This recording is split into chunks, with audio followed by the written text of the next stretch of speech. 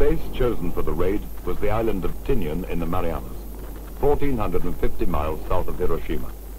The date, August the 6th, 1945. Two B-29s were to fly the mission, one to drop the bomb, one to observe and record. The pilot of the bombing plane had named it Enola Gay after his mother, giving her an unexpected and perhaps unwelcome immortality. His name was Paul Tibbets. Everything, in fact, was ready by July the 31st. The bomb had been brought in three parts, each in a different plane for safety. But the weather intervened, and it was another six days before the Enola Gay took off with the first ever atomic weapon on board.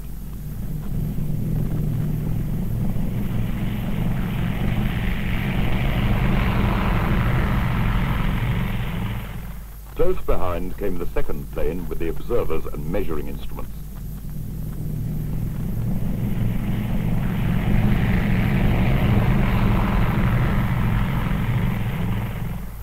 On board the second plane were three scientists from Los Alamos. One of them carried a 16mm camera with which he made this record of the flight and its results. It was Harold Agnew. We had a window about eight inches in diameter, which we could look out, but we could see the city as we came in. We had wonderful, clear, visual weather conditions. But then, just before we dropped the weapon, we had to get back to our instruments. The bomb had been christened Little Boy. It had the equivalent destructive power of 20,000 tons of TNT. The Enola Gay released it and banked sharply. The first atom bomb in the world fell through the bright August morning towards the silent city of Hiroshima.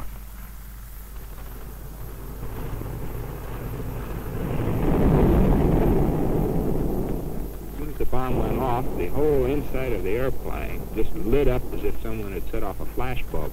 And then we had to wait. And this was our big worry is what would the blast do when the blast got to the airplane? And finally the blast did arrive. It was like being in an ash can and getting someone kicking. And then we uh, crowded to the window and uh, saw uh, just the whole city completely covered in smoke with this very tall mushroom cloud rising from it, which now everyone associates with, with a nuclear weapon. But the first time we'd ever seen anything like that. The seed planted during the beautiful years in Göttingen had borne its terrible fruit.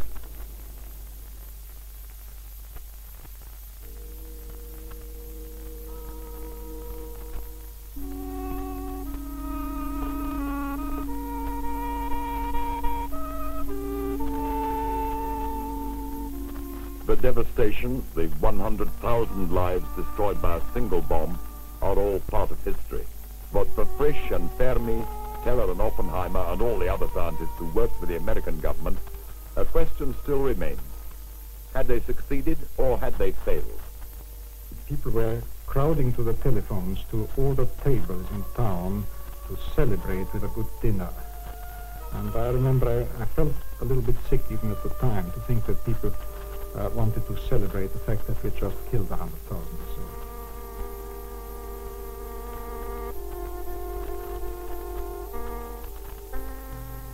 It was months, even years, before the full horror of Hiroshima became known even to those most closely involved in its destruction. At the time, it may have seemed they had solved a grandiose physics problem. Now the problem of physics has faded, but the problem of ethics remains. Looking back over 20 years, do they believe it was right or wrong to drop the atom bomb on Hiroshima? I think it was wrong. And there are two reasons. First, it prostituted science. Until then, scientists were not considered very important, but they were kind of innocent. And the second reason, I think it was morally wrong. I think it was right to drop the bombs because I believe that the dropping of these bombs uh, brought the war to a close much quicker than would have been possible otherwise. I think if people here who now debate this question had seen the preparations which we were making for evacuating wounded, the hospital preparations and everything, anticipating a, an actual landing, that they would have realized that we actually saved lives, not only our own soldiers' lives, but the lives of the Japanese. Because had we been forced to actually attempt to occupy the islands, I think the death toll would have been tremendous. In my view, it was wrong. If we had made a demonstration and that had failed, then I think dropping the bomb would have been justified in order to end the war.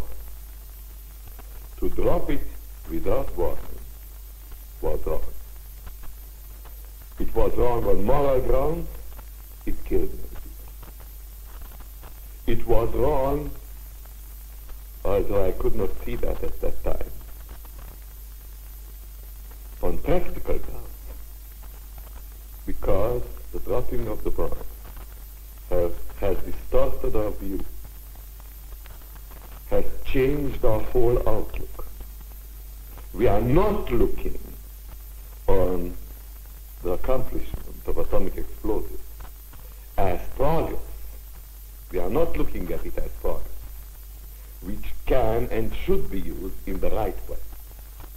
We have started at that time to look at it as something horrible, something that should not be continued. This general trend took its very beginning, its very start, from the mistaken decision to drop the bomb. There are passionate arguments. They do not persuade me one way or the other. Uh, at the time, the alternative, the campaign of invasion, was certainly much more terrible for everyone concerned. I think that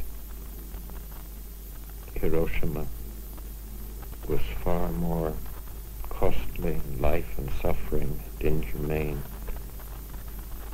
than it needed to have been to have been an effective argument for ending the war.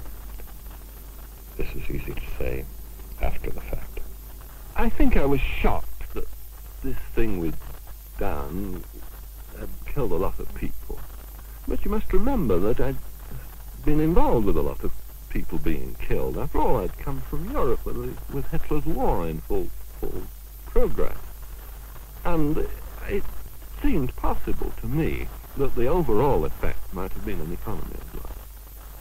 And these innocent people died, but perhaps the overall death roll reduced. We were all aware of the fact that in one way or another we were intervening explicitly and heavy-handedly in the course of human history. That is not for a physicist a, a natural professional activity.